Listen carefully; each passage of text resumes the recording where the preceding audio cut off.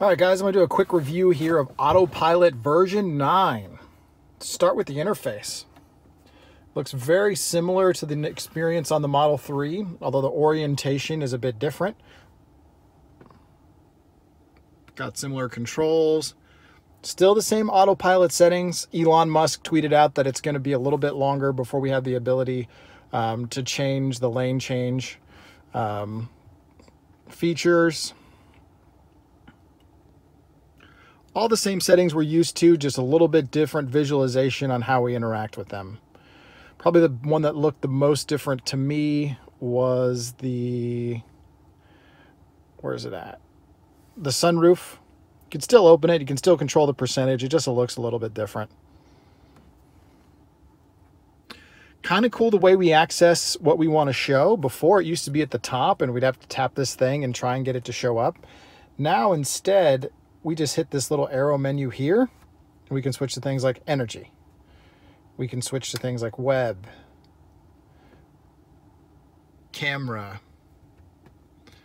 switch to calling, charging if you want to, set your charge limit.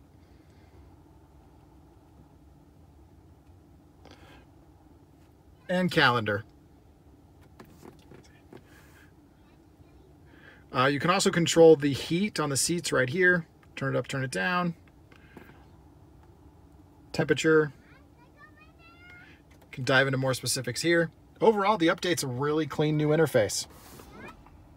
One of the really cool things now in software version 9 is it detects the type of car around you. So you get vehicle, SUV, bus, and if somebody pulls behind you, it'll actually show the car behind you on the vision. Uh, that's a really cool functionality. It's nice to get a real reflection of the vehicles that are around you. Oh, there we go. We got a car behind me on my right, showed up. Before, the car wouldn't show up until it was right next to you, but now we're getting cars visible behind us. It's a pretty cool upgrade. Last but not least, let's take a look at the new Atari games. So we got a handful of new games in here. We've got Asteroids, we've got Lunar Command, one of my all-time favorites, Missile Command. And it's pretty cool. When it comes to playing these games, there's a couple different ways you can control it. So you can do the kind of standard arcade controls by using this little navigation functionality. Let me show you what it looks like.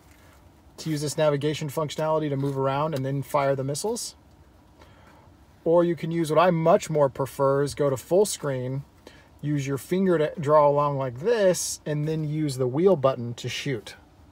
So that's going to take two hands to do, but I feel like it's a lot more accurate. I can do a lot better job taking out the missiles this way.